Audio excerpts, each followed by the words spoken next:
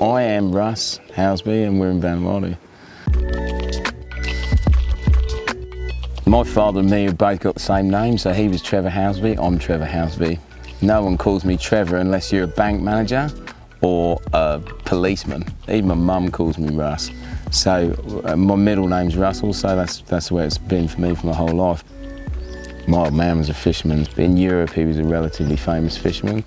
My father wrote a bunch of books on fishing, and, and that was his thing, without any doubt. Unquestionably a fisherman, and I spent my whole life, I guess, as a kid, being completely absorbed in fishing. I could give you all the Latin names of everything. I knew every every in and out of everything from, from an early age.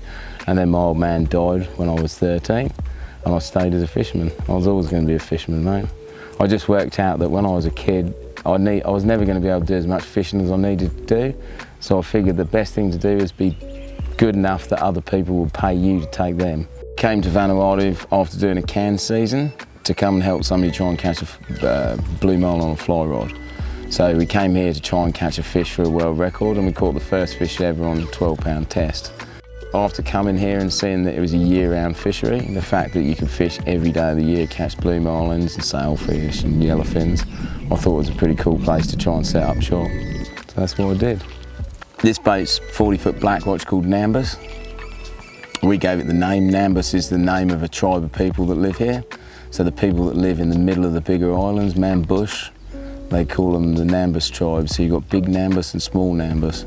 So we named the boat after those people because we figured it would be something unique and something that um, all the locals would know. But when you go there, everybody remembers you and everybody knows that name of the boat. That boat's got Caterpillar C9s in it and when they behave, they're good things. It was, it was built for somebody to fish out of Cairns as a private boat, so it has way more refrigeration than most boats. Around 400 litres of freezer capacity between fridges and freezers, so we can store a lot of cold on that boat. So in the tropics, never-ending cold is a good thing. Going backwards is cool, it makes a big noise, it's awesome, there's waves and splashing and shit going on, and a lot of the times it's not the most effective way to get it. On today's occasion, it actually was, and he, he was, you couldn't have asked for a better one. So you got to, you got to experience the full show. Like it was dinner and a show. We got jumps, we got everything. Life in the flybridge, you spend 20, 22 hours a day living in the flybridge, or I do. So we fish most of the time. We fish when we do liveaboard trips. We fish from when I can see to when I can't see, literally. So if we're dogtooth fishing, often it's an hour before light and an hour after light. So we fish every hour God gives us. So generally I spend my whole time there all day. I sleep up there at night and I come down for a couple of hours to cook, cook your dinner. That's about all that happens to me. It's a pretty salty existence. Yeah, apparently it's playing dogs on chains, is that fucked? It wasn't raining for this trip so I didn't have to kip in a puddle. We've got a lot of islands and places to fish. There's 83 islands in Vanuatu, so we, we can really go wherever we want. We do a lot of jigging, lots of jigging for doggies. So we catch wahoos, we catch yellowfins, we catch dolphin fish. Over the years, we've, we've caught some pretty nice yellowfins. We catch a lot of fish in the sort of 40 to 70 kilo range. Every so often you get a real cracker. We caught one a couple of years ago, it was 97, which was a beauty. And we catch GTs in all kinds of different methods. Some of them are bycatch, sometimes they're eating on live baits. Other times we catch them off 150 metre seamounts jigging. Obviously popper fishing is the most well-known way of doing it. We do a fair bit of popper fishing for them. I remember seeing a real big black fucker come up one day trying to eat a dog tooth, and that dog tooth was 20 kilos. He's all over it, getting chewing his tail, and that was a serious one. We're here for the fish, we're not here for the money. So as anybody that's got half a brain knows, there ain't no money in charter fishing, so I ain't doing it because I'm going to get rich. I'm doing it because it's what I've got to do.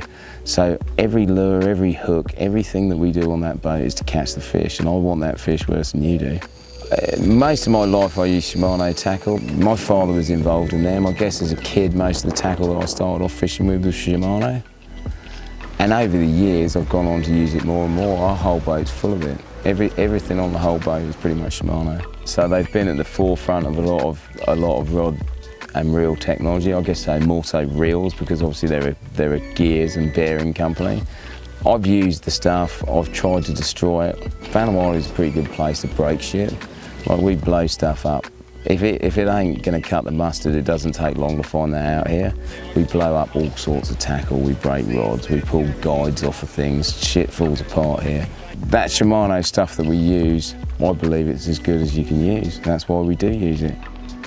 When we go blue marlin fishing out here, unless we're going to bait and switch, where we can see the size of the fish before we present it a rod or a, a bait, I like to pull 130s because in the time that I've been here, we've caught some real little ones. I've seen them as small as 17 kilos, blue marlins.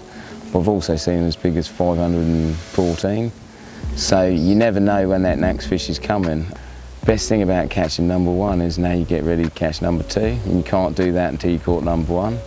And it's like that for me with big ones. I caught one over a thousand, so I'm fishing for number two now. So we fish every day with all our tackles set up, all our gaffs laid out, everything's ready to roll. If the right fish comes along, he gets a boat ride.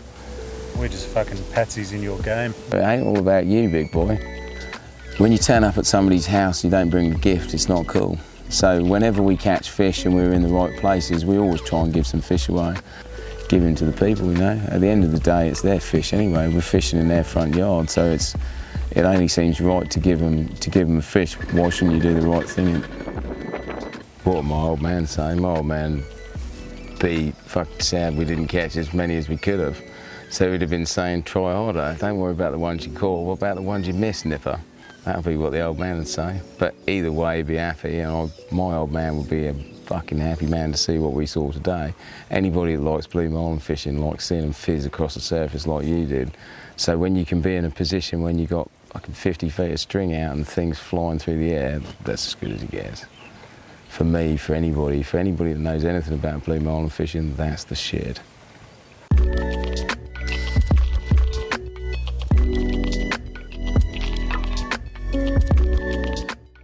Well, I tell you what, mate, you know when you see a cod come up from fucking 500 metres and its eyes are bugged out real bad?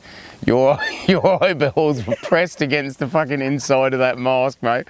When that blue marlin was swimming towards you and I was trying to grab hold of the line, right, your eyeballs were like fucking this big and like I could see the veins where they were pressed against the glass.